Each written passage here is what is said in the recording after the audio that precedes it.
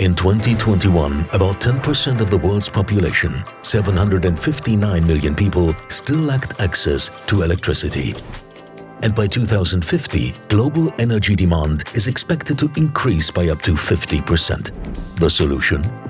A vision of a world where energy is no longer a limiting factor. A world where energy is generated CO2 neutral. A world that is fully digital, electric and sustainable. Welcome to the all-electric society. To achieve a carbon-neutral future, we must transition from fossil fuels to renewable energy sources such as wind and solar.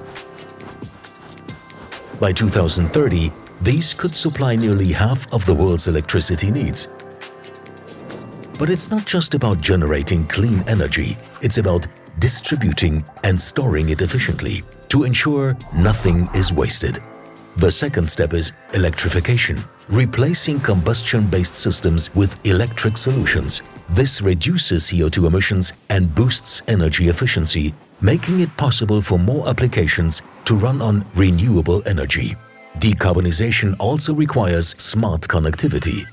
Connectivity is enabling electrification and digitalization by linking industry, energy, mobility, agriculture and infrastructure, machines, vehicles and networks can seamlessly exchange data and collaborate. This digital coupling ensures intelligent coordination between energy generation and usage. In the all-electric society, connectivity technologies will be essential for a carbon-neutral future. At the heart of this transformation are two lifelines, data and power. These flow through every system, uniting the all-electric society. Harting plays a crucial role in this journey.